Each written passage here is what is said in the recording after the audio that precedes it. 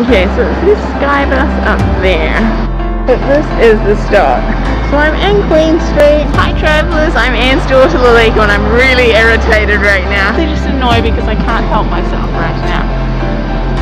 I really miss Kuwait. I've just been let out from the isolation and instead of providing us a ride to the airport like they said they would, they've given us a bus pass. I'm mostly frustrated because literally I was just at this intersection here and I saw the bus and I waved at it and I thought it was to wait and it didn't and the service is so bad. They only come every half hour. There was nobody on the bus. He can see I've got luggage. I'm coming. And then the chimes went on that clock to say it was 11 o'clock. Well after it had gone through. Now I'm just sitting here like a loser, getting pissed off at how crappy public transport is in New Zealand. So it costs $17 can't tell you where you get the tickets from. Normally, I have no idea. I've never used this service before, and I can tell you right now, I'll never use it again. I haven't even used it yet. Just on the side of Queen Street for like half an hour. At least it's a nice day. This is what they should have provided. Free Wi-Fi.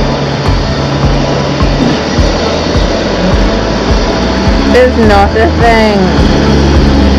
You can put in this bus stop. It's Sky Bus Stop 1464 into Google. It's right by the Airedale.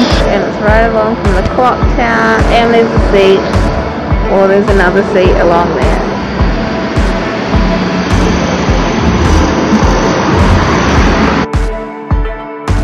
It's 25 minutes later. Oh, it says airport.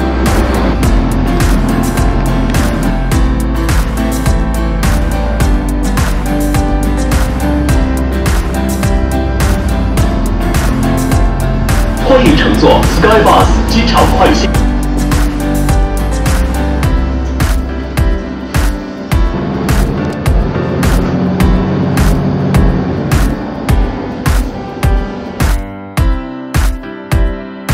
And it just drops you off. Right, let's go. Okay, that took ages. It took like 40 minutes to get here.